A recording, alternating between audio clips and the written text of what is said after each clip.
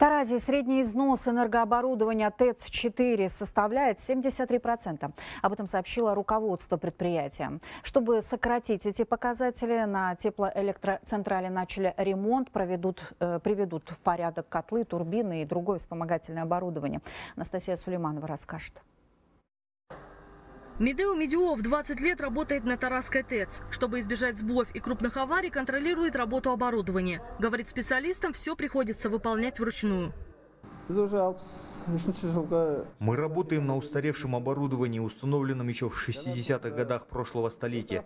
Конечно, теплоэлектроцентраль нуждается в более энергоэффективном, менее энергоемком оборудовании с высоким коэффициентом КПД, а пока вынуждены поддерживать работу ТЭЦ с ежегодными ремонтами.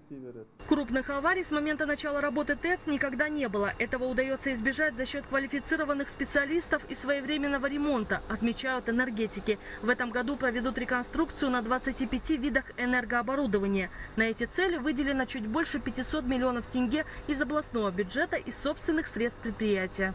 Первым делом на ТЭЦ проведут капитальный ремонт третьего парового котла высотой 24 метра. Его изношенность составляет 78%. Сейчас оборудование уже полностью остановлено и готово к началу реконструкции. Полный ремонт на теплоэлектроцентрале обязуются завершить до 1 октября этого года. За счет выполненных работ изношенность устаревшего энергооборудования удастся снизить лишь на 3-4%. Для более масштабных работ нужны дополнительные инвестиции. Наша станция 63 -го года она уже морально физически устарела. Проблемы есть не только в замене оборудования, есть у нас и само здание уже устаревшее. 61 -го года она возведена. И э, полностью, чтобы ее отремонтировать, э, э, сейсмоустойчивость проверить, капитальный ремонт основного вспомогательного оборудования – требуется определенное капитальное вложение. Но лучше построить новую ТЭЦ, говорят энергетики. По предварительным подсчетам специалистов, на это нужно 130 миллиардов тенге. Сумма, конечно, неподъемная, поэтому ограничиваются на объекте только ремонтами, от которых зависит своевременное начало отопительного сезона.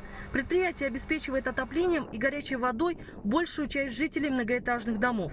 Например, ТЭЦ обогревает почти тысячу многоэтажек, столько же объектов юридических лиц и больше сотни сотни бюджетных организаций. Тепло поступает к потребителям по тепловым сетям, которые изношены в Таразе почти на 65%. В текущем году мы планируем а, более 10 километров а, отремонтировать. То есть в том числе это будет а, проводиться и капитальный ремонт, текущий ремонт, и на некоторых участках это будут проводиться именно работы по реконструкции. Планируем дополнительно разработать проектно-сметные документации именно по 22 участкам, Э, которые, соответственно, будут реализованы э, в 2024 году. По данным профильного министерства, общая протяженность теплосетей по стране около 14 тысяч километров. Из них 54% изношены, а это значит нуждаются в модернизации и реконструкции. Заменить все сразу невозможно, поэтому разрабатывают проекты. В начале года была открыта э, новая бюджетная программа «Целевые трансферты на развитие системы теплоснабжения», по итогам которой в рамках уточнения республиканского бюджета 2023 года э, было выделено 69,4 миллиарда тенге на реализацию 47 проектов.